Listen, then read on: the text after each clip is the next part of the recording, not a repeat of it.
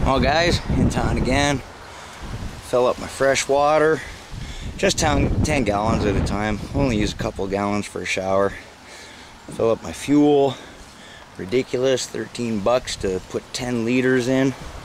Fill up my Speedex. But, bit of an overcast today. Hope you guys can see. It was raining this morning. It's uh, Wednesday morning. It's raining this morning, so I actually locked James in the trailer because I usually leave the door propped open for him so he can come in and out when he wants when I leave. But uh, don't like the rain coming in because it'll rot the floor. So I locked him in thinking it was going to rain. I'm going to have one pissed off kitty. But check my mail today and as usual, nothing but bad news. I'll show you. So yep, hydro bill come in. Now check this out. This is absolutely ridiculous. Um, this is my actual billing. $15, $4, and $5. They go by peak periods and on peak, whatever. Now look, delivery. Look at this. $39 more than I actually used. That is ridiculous. $78 for a month. $79. Uh, so, and then stupid uh, clean energy benefit minus 10%. Whatever. They just rape it back on the delivery charge. Yep, absolutely ridiculous. Not even here. Uh, my roommate, all he uses is a fan. That's it. Uses a little bit of TV, 130 watt, big deal. Doesn't use jack. And the fridge. And that's what your bill is. Absolute crap. What a ripoff.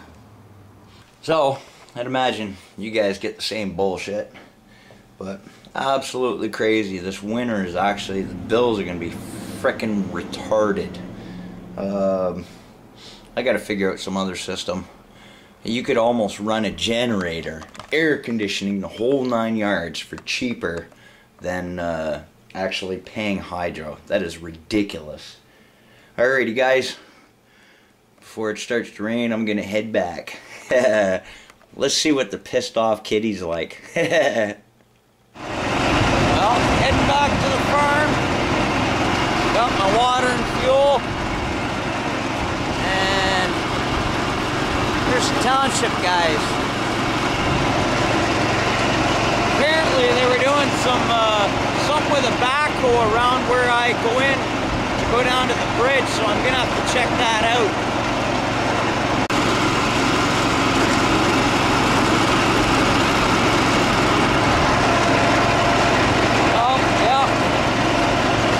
I think maybe they're trying to block the way to get down to the river where I usually roam.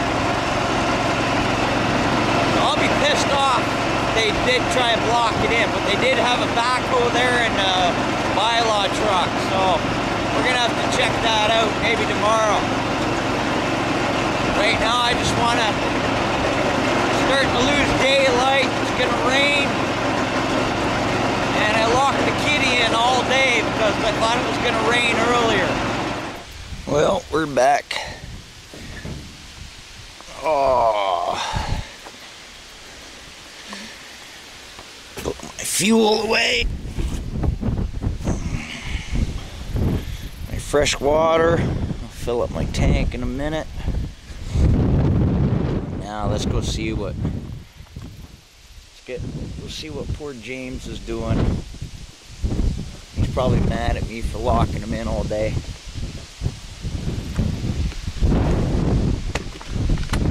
Hi, buddy.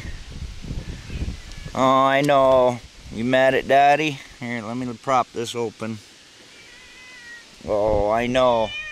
Yeah, Daddy's a big meanie, ain't he? Oh.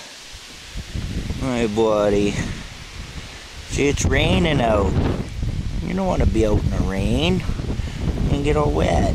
Huh? You get all wet. You see, you're not gonna like it. See? Oh, I know. I know. There you go. See, that's how I usually, that's how I usually prop my door open.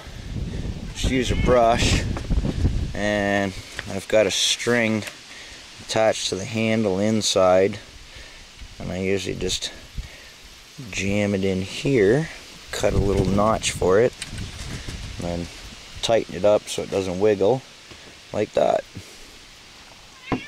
And it stays propped open even when you close this door because the magnets hold it. But I didn't want to do that in case it rained because you really get the rain inside. Ah, buddy. Crazy kitty. Yeah. Oh, daddy's good boy. Alrighty, guys. Well, I gotta give Dickhead here his treat. And, uh, take her easy.